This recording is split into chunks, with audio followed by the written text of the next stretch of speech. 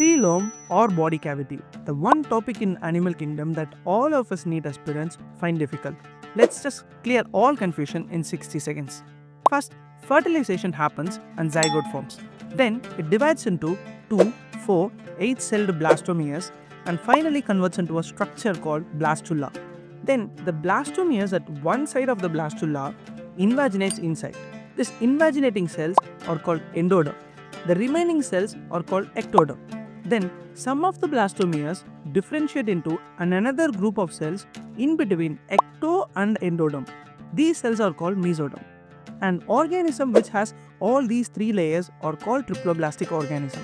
And if there is no cavity in between mesoderm, then it is called acoelomate organism. Example, platyhelminthes. But some organisms, a cavity is formed in between mesoderm and this cavity is called coelom. And this coelom would be covered by mesoderm on all the sides.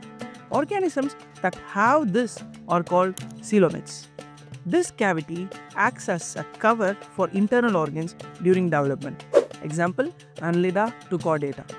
There are some organisms which have mesoderm scattered during the development and when they develop, they develop a cavity with mesoderm on one side and endoderm on other side. They are called pseudocoelomate, example Aschelminthes. Hope your confusion is cleared. Comment what topic you need next.